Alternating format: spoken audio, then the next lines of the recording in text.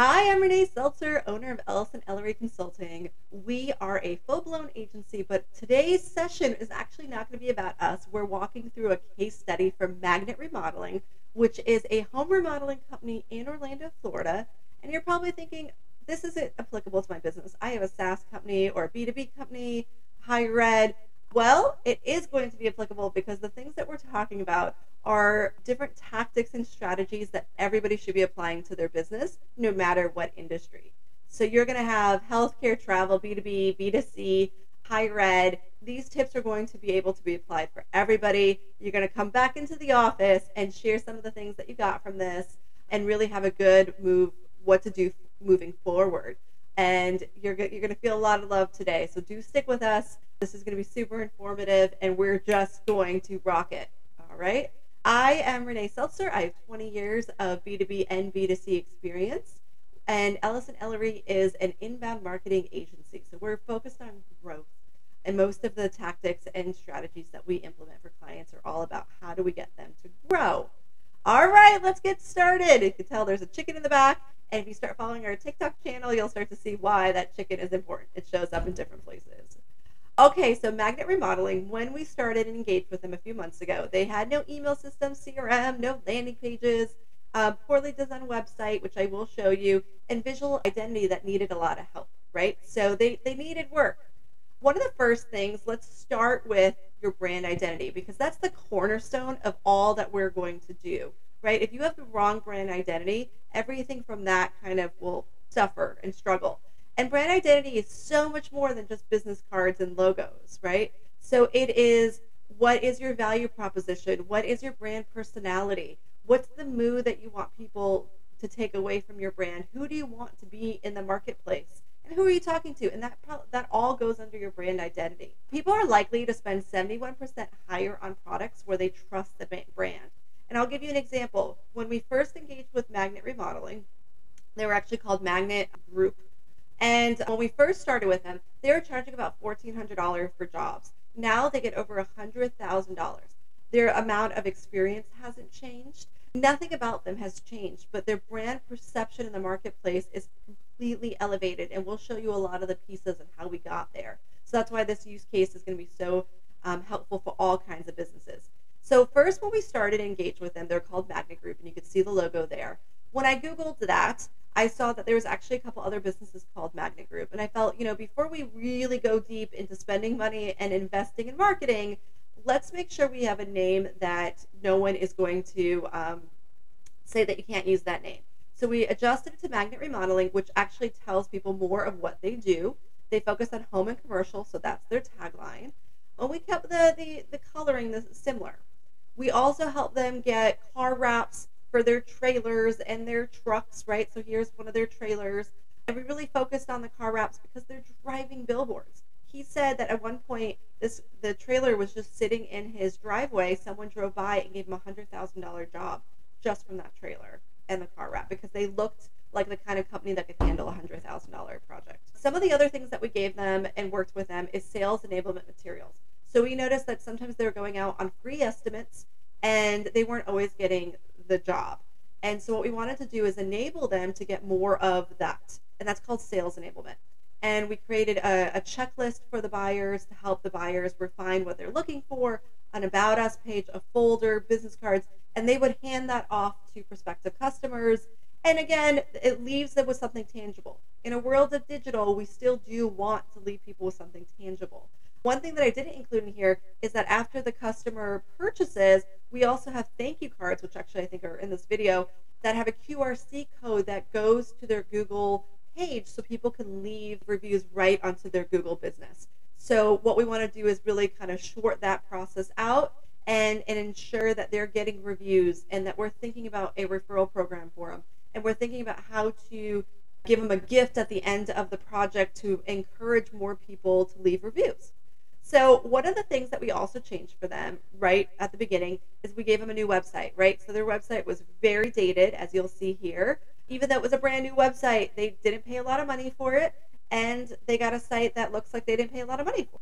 So we redesigned their whole website, gave them a very robust site, great user experience, uh, a, a gallery because they're selling the visual, and a whole blog part of the website where it gets updated constantly. And we're going to cover some blogging in a moment and how important it is for your business to blog, why every business should be blogging, and then also what are some best practices of blogging.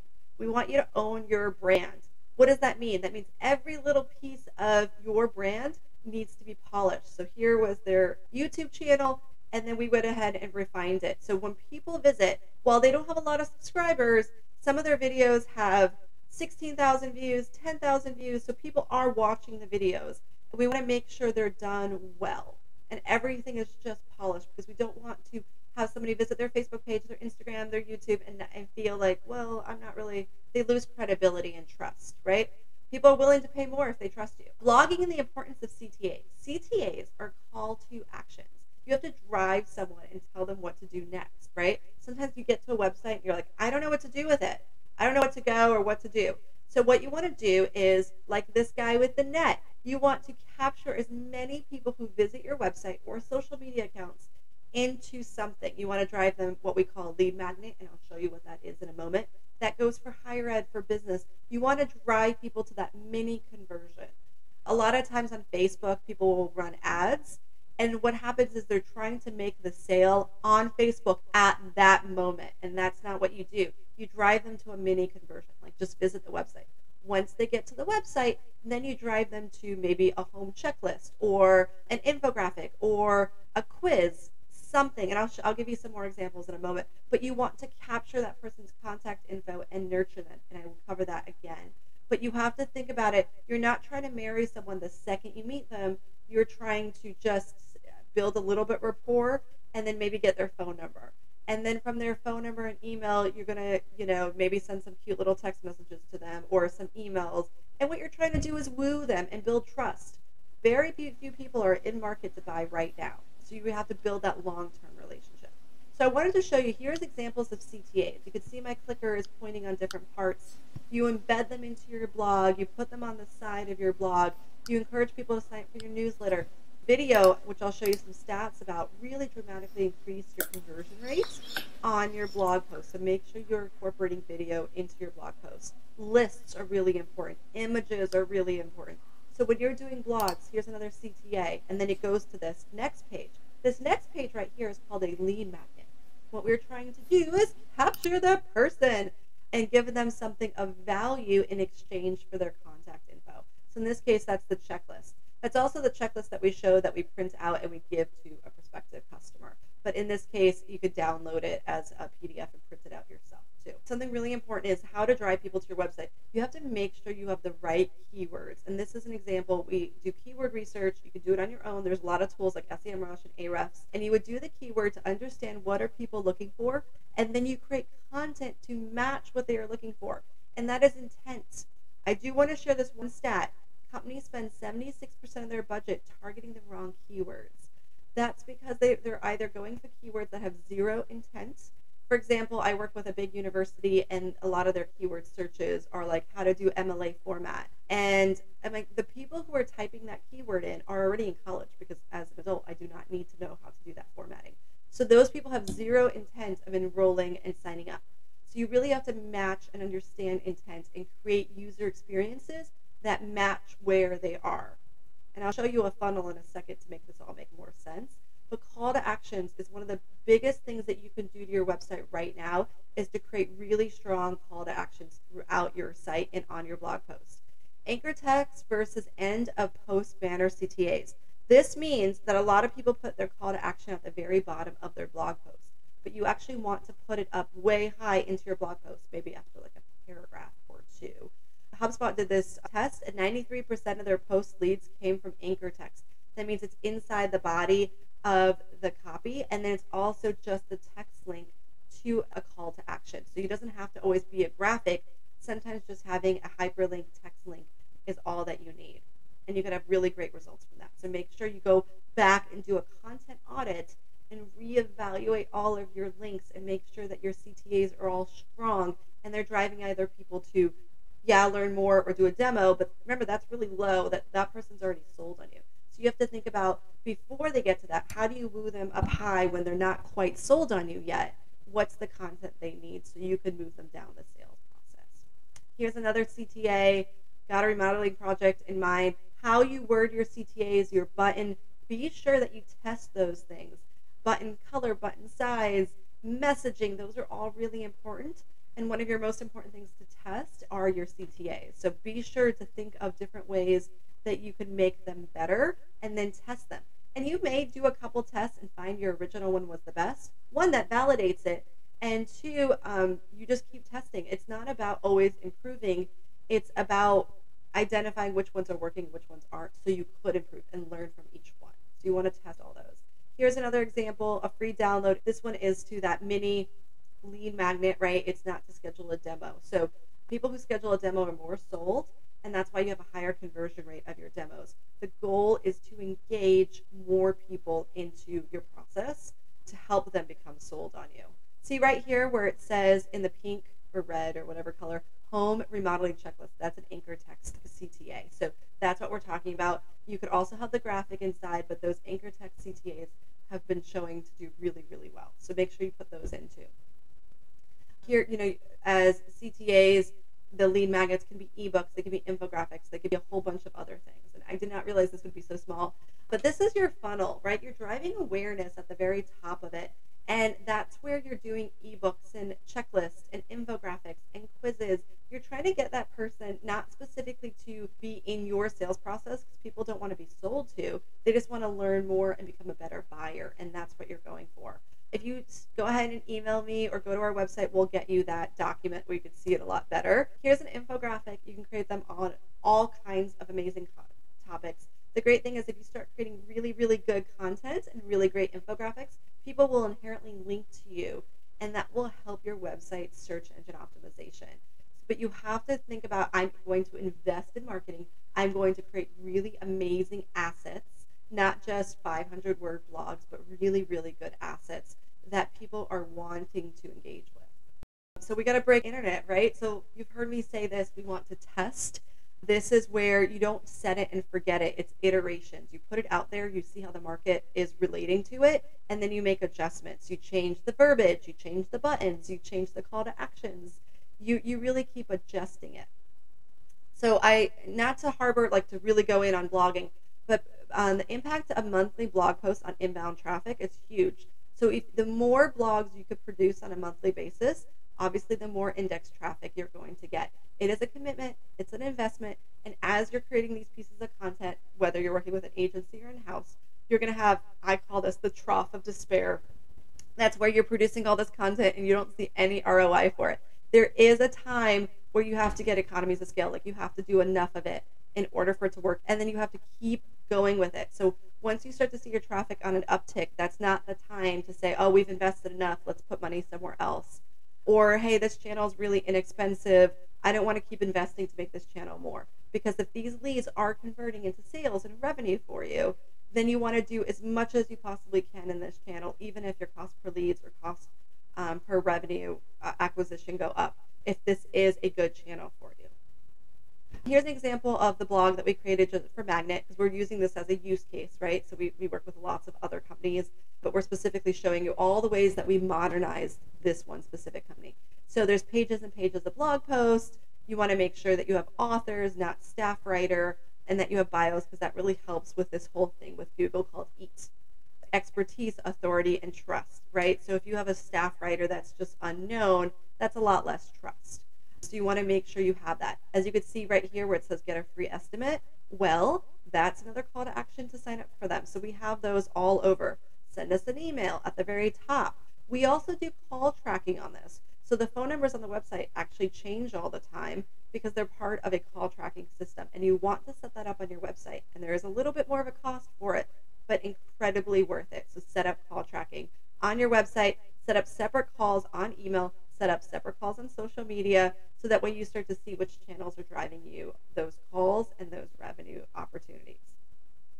Blogs keep getting longer. So, what I wanted to show is every year you have to become more of an authority. There was a time where an 800 word blog was great. Now it's 1400, if not more, and you need lots of images. You need to make sure, in this case, you have lists. You're making your blogs very searchable by somebody skimming it, right? That's how people read. They skim.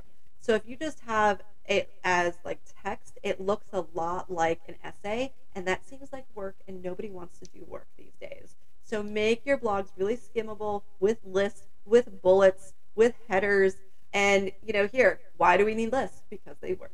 so make sure you do that. Blog posts containing a video can get up to 48% more views compared with blogs without videos. And we're going to have a video section in just a moment, but videos are incredibly important, and it's important that your blogs have lots of images, sometimes as many as seven images, and you want to optimize those images for the web. So don't like download stock photos and upload it just like that because that photo file will be huge. There's tools that you could use to minify the file size and that takes an extra step and you want to optimize each of those images for Google search.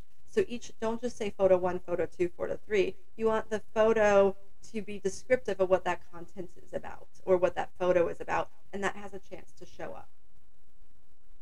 Land pages and paid search, right? So if you're not familiar with landing pages, often they're used in paid search for Google Ads you don't normally send them to a regular website page because the website page isn't made to convert that person as well as a landing page would be made for that.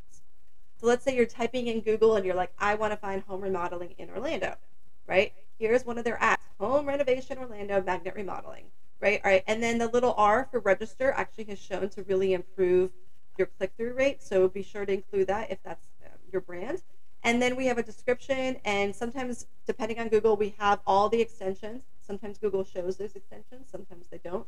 But we make sure that every extension, image extension, phone extension, every image extension in Google Ads is filled out because that will help you with your conversions. In this case, we're optimizing for calls, so there's a phone number there. And then you'll start to see revenue for Google. This is why I'm showing you this. Obviously, Google keeps making more money year after year after year after year. And some of the ways that they do that is because there's more advertisers, and advertisers are willing to spend a lot more money for those ads. Why? Because they work, right? So the people who search on Google generally are very high intent. They're looking for something specific, they have a pain point, and they're looking for a resolution to solve it. So they're lower on the funnel and they're really looking to, they're closer to the end sale. So that's why people are willing to pay a lot more money per click for them. But you have to make sure you are not lighting money on fire. This is where CRO testing, conversion rate optimization testing, is so incredibly important. And I'm going to cover that in a sec. But right now, if you are not managing your Google Ads well, if your landing pages are not optimized for conversion and you are not constantly testing your landing pages, then you're really lighting money on fire and really just kind of doing an exchange directly from your pocket into Google's pocket. Here are examples. We have a variety of different landing pages we've created. This isn't even all of them. Where we have different types of forms. You could see like the girl right here, she has a very mini form because that's Facebook. And on Facebook, people only are going to give you a very tiny bit of information. On the next one, the form is a little bit below. There's a button that says go to form, and then that form is below some of those images. On the one to the left, the form is way up high and it starts that way.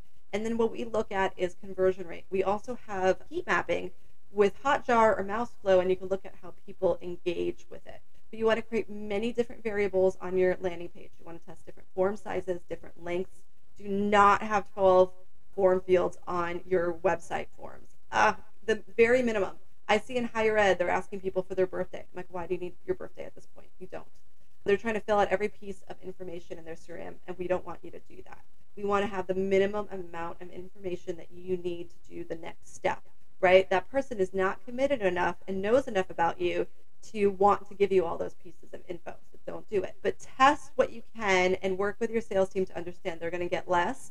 But there's also different tools like in B2B where you could augment that data and fill it out with more points of data. So you just pay for an extra service to help you with that. But don't ask the customer to do it. That's not their job, is to make your job easier for you. You want to make sure all of your landing pages and your website are mobile friendly and they load quickly for mobile as much as like 60% of all searches are coming from mobile. So you want to make sure your Google ads are optimized for mobile. You want to make sure your Google My Google business profile is optimized for mobile. And then you want to make sure your landing pages are also looking great on mobile, right? And that your forms are really easy to fill out on mobile. So make sure you're doing that. Videos can increase conversions by 80% when implemented on a landing page. So that's a little bit different than a blog. You want on your pages that are going to convert for Google um, and Facebook to have some video content on there, right? Because you can increase your conversions as much as 80%. The cost per click from Google is going to stay the same. So your job is to try to get more of those people who click over to fill out a form or to call you to be a conversion. But the cost is $8.40 a click.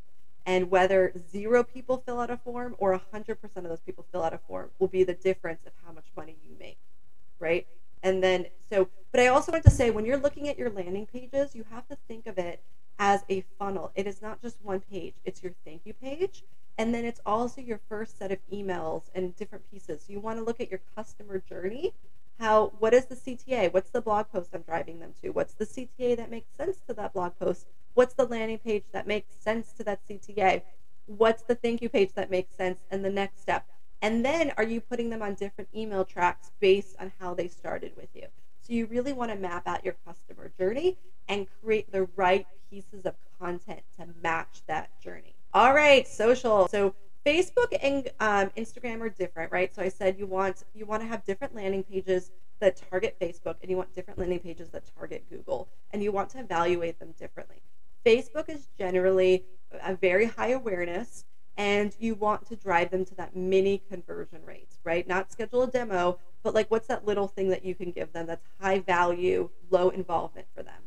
For because they're they're going on Facebook to look at their cousin's vacation photos. They're not like, hey, I need a new SaaS product or I need a home remodeling company. They're they're in a different mindset, so you have to work with that different mindset. And you also have to create ads where you can gauge their attention within like the first three seconds, right? So you really want to capture their attention because otherwise they're just thumbing, right? They're just going through it and not paying attention. There's a lot of strategy and a lot of thinking that you're going to go through when you create your landing pages.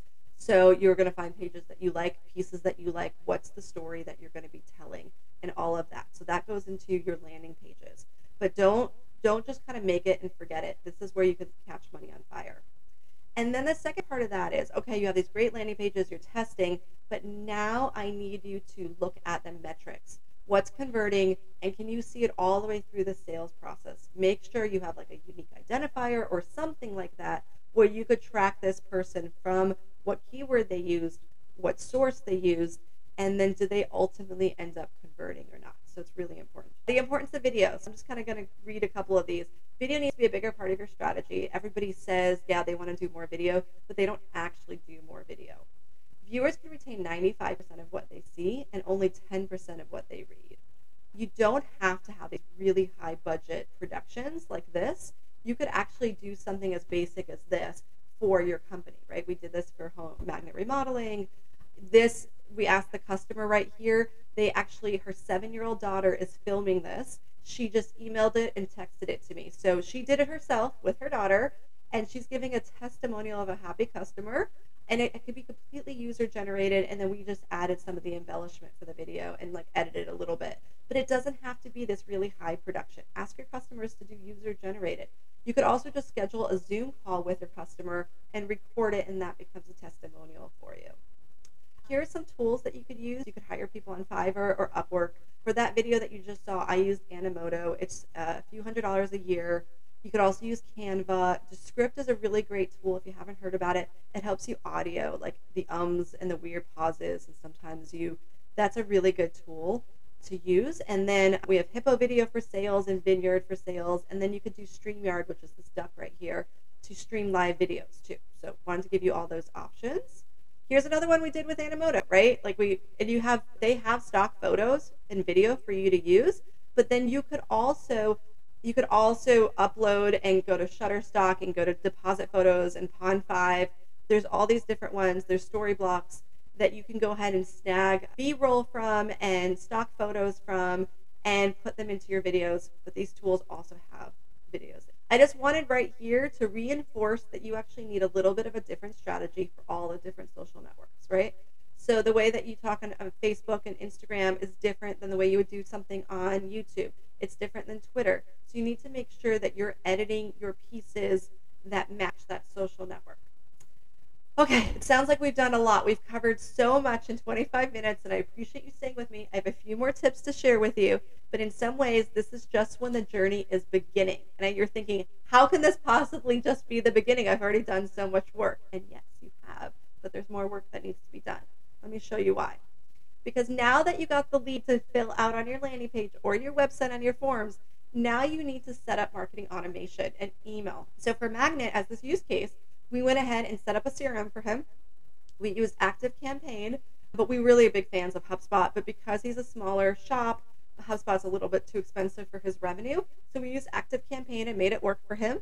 And we also set up Calendly. So we have where the person, the, the prospective customer, can set up a meeting directly on his calendar for an in person or virtual estimate.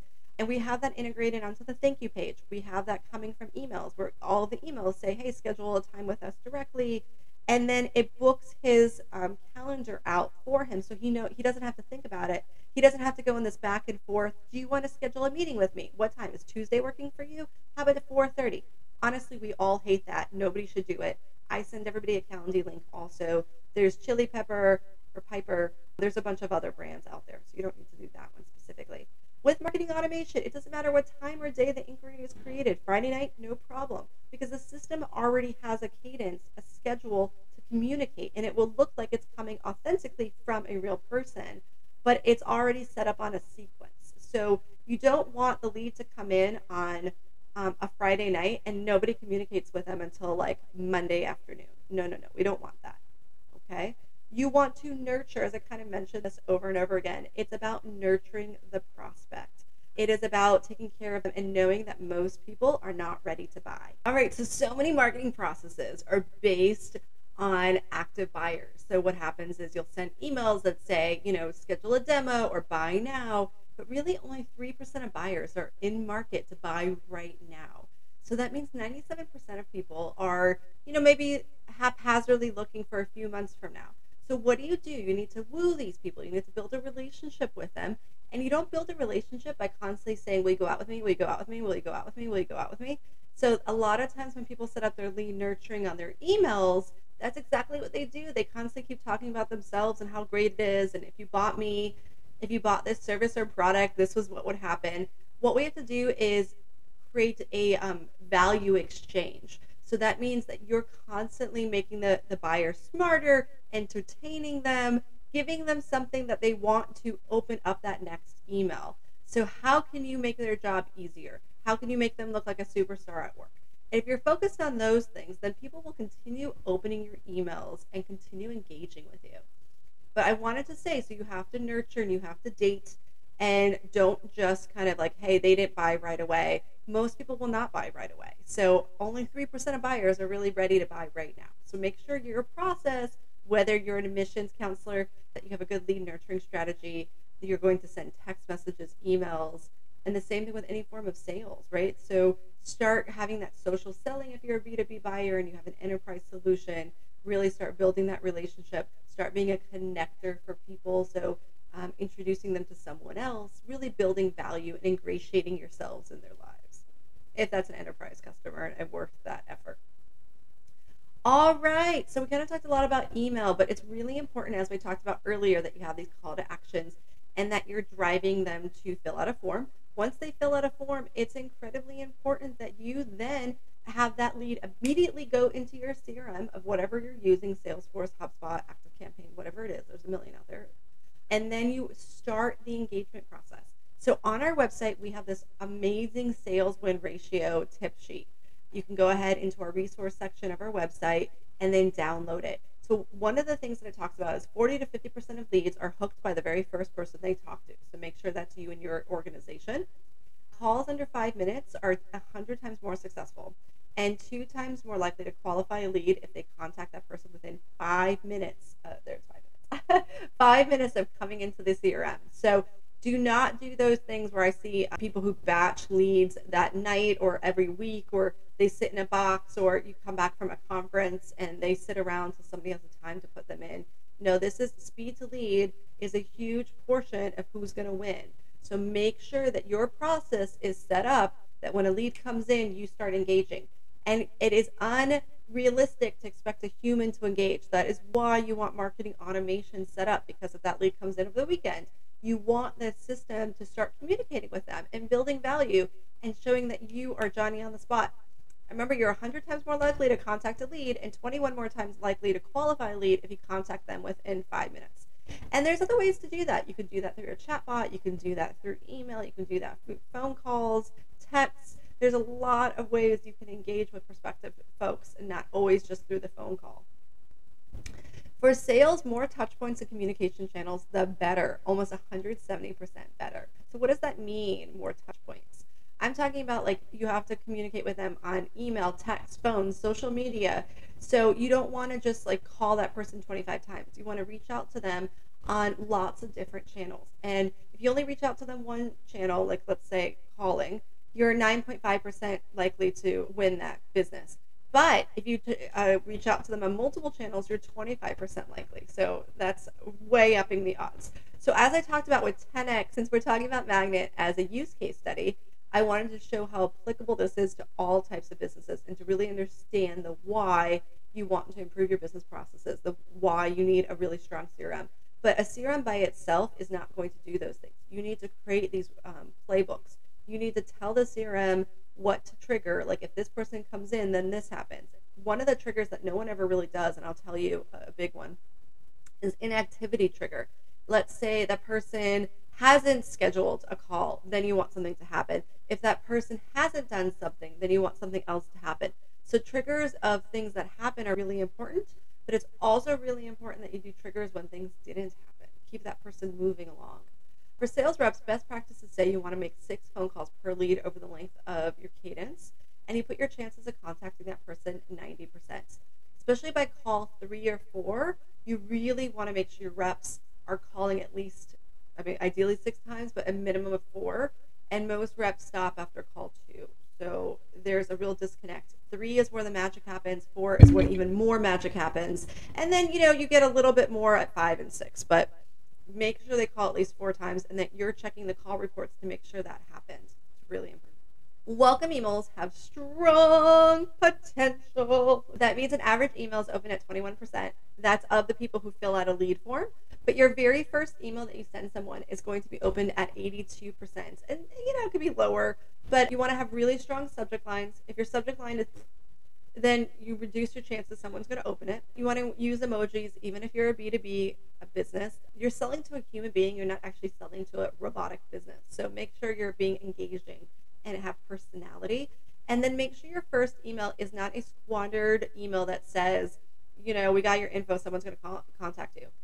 That is just completely lighting that email on fire that's there's an opportunity to ingratiate yourself there's an opportunity to share value there's an opportunity to maybe share your founder story have a video have that person get to know you a little bit on that first email since it's going to be the most engaged communication that you're probably going to have with that prospect. Don't waste it. Don't. For every dollar you spend on email marketing you could expect a return of $42 a lot of times people really underspend in email and i see it all the time. They're not thinking about subject lines. They're not thinking about creative. They're not thinking about how can i add video? What's the story i'm going to tell? How do we get more testimonials or third party validation in my email communication so it's not just the mechanics of sending out the email it rolls up to a content strategy and what am i really trying to include in this and am i helping the the buyer journey so but every dollar you spend, you can get a great ROI on this channel. So don't underspend this channel. Here are some emails we did for Magnet. As you can tell, they're all a little bit different. This is Active Campaign, and like I said, we use we really like HubSpot also. But if you're um, on a tight budget, Active Campaign could be a really great one. So as you saw, there's like different automations that come. You could put people on different lists. You could send people out different email blasts, but you could also put them on different automations and workflows. So here's what really is important when you're setting up your CRM is the baton pass. It's it's incredibly important. And what I mean by that is you humans make mistakes all the time. So they say I'm going to follow back up with someone. I could tell you stories where the the Google ads were costing $800 a lead and then the person would call like the lead would come in on a weekend. They wouldn't get called until maybe Monday or Tuesday. I'd ask the person, "Hey, do you mind calling me back?"